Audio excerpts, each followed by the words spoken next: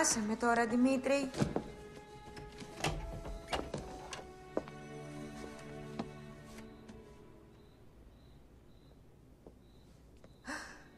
Ω, με συγχωρείτε.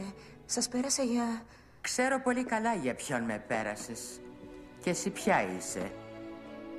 Ε, ήλπιζα να μου πείτε εσείς. Χρυσή μου, γέρασα πια. Βαράθηκα να με εξαπατούν και να με ξεγελούν. Δεν θέλω να σας ξεγελάσω. Και υποθέτω ότι είσαι υπεράνω χρημάτων, έτσι. Απλώς δεν ξέρω ποια είμαι. Αν ανήκω σε κάποια οικογένεια. Τη δική σας.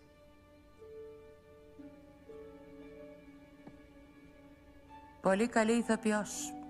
Ίσως η καλύτερη, μα... Ας εδώ ήταν.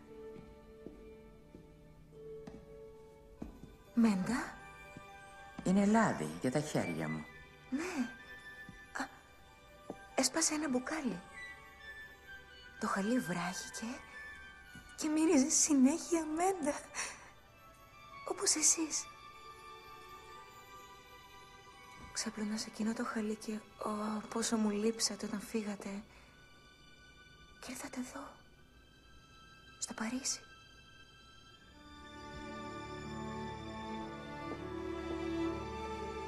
Τι είναι αυτό; Αυτό, αυτό το έχω πάνω μου από τότε που θυμάμαι τον εαυτό μου.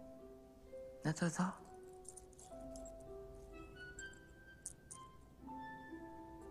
Αυτό ήταν κάποιο μυστικό.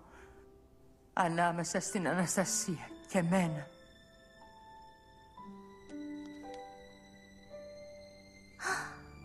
Το μουσικό κουτί. Για, για να μην ανορίζει όταν θα ήσασταν στο Παρίσι.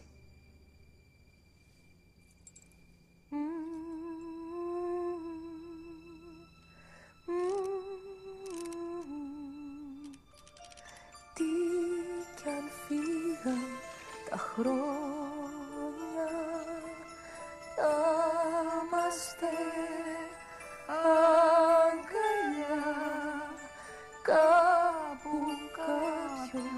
χειμώνα.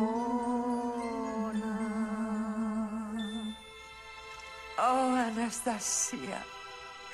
Καλή μου Αναστασία.